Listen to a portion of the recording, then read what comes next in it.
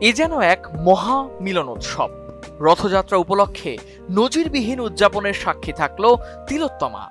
বকুলতলা একতা সংঘের উদ্যোগে রথযাত্রা প্রতিযোগিতার আয়োজন বেলেঘাটার পঁয়ত্রিশ নম্বর ওয়ার্ডে। দেড়শোর বেশি রথ এদিনের প্রতিযোগিতায় অংশগ্রহণ করে। বিচারকরা তাদের মধ্যে সেরা দশটি রথসজ্জাকে পুরস্কৃত করেন। প্রথম, দ্বিতীয়, তৃতীয় স্থানাধিকারীদের সুদৃশ্য ট্রফির পাশাপাশি দেওয়া হয় ফ্রিজ মাইক্রোওয়েভ ও ইন্ডাকশন। প্রতি বছরের মতোই রথসজ্জা প্রতিযোগিতা ঘিরে মানুষের ভিড় ছিল চোখে পড়ার মতো। রথযাত্রার দিন এমন দৃষ্টিনন্দন উৎসবের আয়োজনে সকলেই কৃতজ্ঞতা জানালেন উদ্যোক্তাদের। এলাকার সাধারণ মানুষকে ধন্যবাদ জানান অনুষ্ঠানের মুখ্য আয়োজক বীরেন দত্ত। রথসজ্জা প্রতিযোগিতা ছোট ছোট কচি কাটাদের সাথে তাদের পরিবারও একসাথে রয়েছে কতটা কষ্ট হলো আজকের এই বিচারটা করতে গিয়ে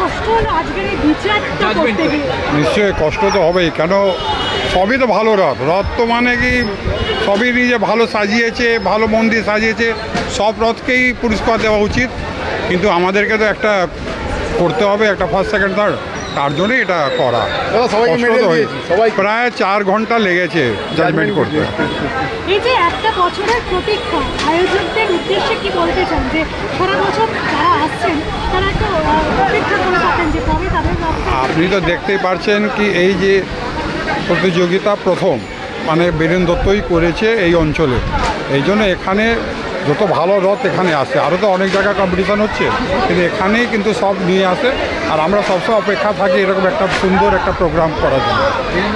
এত সুন্দর সার্টিফিকেট পেয়ে গেল আজকে থেকেই কি আগামী বছরের প্রস্তুতি শুরু হ্যাঁ প্রস্তুতি তো আমার সারা বছরই আমাদের থাকে বকুলতলা একতা সঙ্গের আর সবথেকে মেন হচ্ছে আমাদের দাদা। দাদা যা করি আমরা দাদার সাথে পরামর্শ করে আমরা সব কাজ করি। দাদার দাদা একটা আমাদের কাছে একটা মানে মানে আইকনের মতন মানে আমরা যেই সময় সিপিএমের পিরিয়ডে আমরা কিশোর সঙ্গে একটা কালী পুজো করতাম সিপিএম করতে দিত না। সেই সময় দাদা আমাদের ক্লাবের সভাপতি সেই সময় গিয়ে আমাদের সাপোর্ট দিত আমাদের ক্লাবে গিয়ে বসে থাকতো। এখনও পর্যন্ত দাদার সাথে আমরা রয়েছি সেই জন্য যাই করি দাদার সাথে আলোচনা করেই করি। একদম প্রস্তুতি। Bureau report channel ten.